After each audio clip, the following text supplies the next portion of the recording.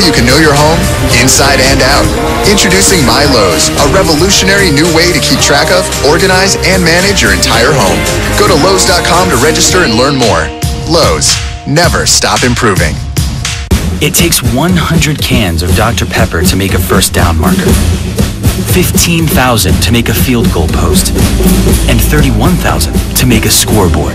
But it only takes one video for Dr. Pepper to make your dreams a reality.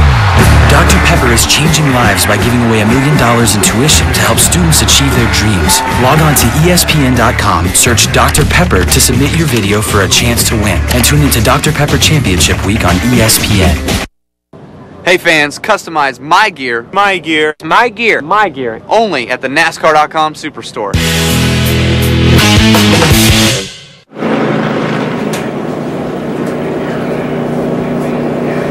As you saw in our NASCAR nonstop coverage, Kasey Kahne spinning through the tri-oval in a two-car draft there with his teammate Brian Vickers in the 83. They were running in third position.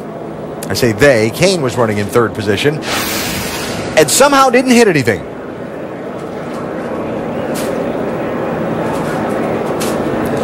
You can see Kasey started to the outside like they were going to try to make a pass for the lead from Robby Gordon and Trevor Bayne.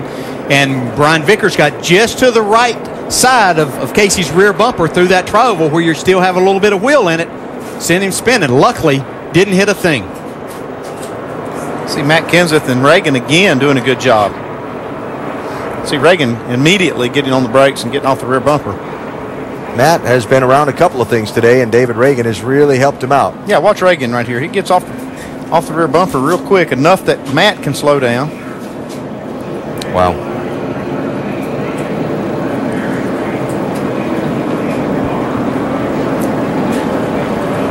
So, sixth caution, Kasey Kahne driving back around to the pit lane slowly so as to not have those fenders, the tires uh, that are flat, break apart, tear apart the fenders on that four. And we work the caution once again at Talladega with 58 laps to go.